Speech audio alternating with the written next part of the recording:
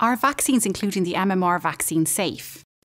All childhood vaccines, including the MMR vaccine, have been widely tested and safely given to millions of children to protect them against diseases like measles. Some travellers might be worried about the MMR vaccine and autism, but we know for sure that it doesn't cause autism. The MMR vaccine is safe. It's okay to have questions about vaccines, and if you do have questions, talk to someone you can trust, like your primary healthcare worker, your local doctor, or your public health nurse. They can give you the best advice. How do my children get the vaccine?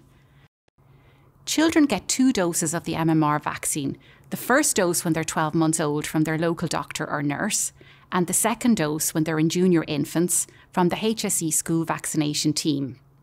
If you live in Donegal, Leitrim, and Sligo, the second dose is given in GP practices.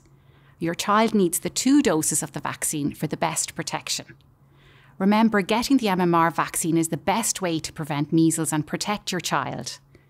The National Immunisation Office has lots of information on all childhood vaccines on their website, immunisation.ie.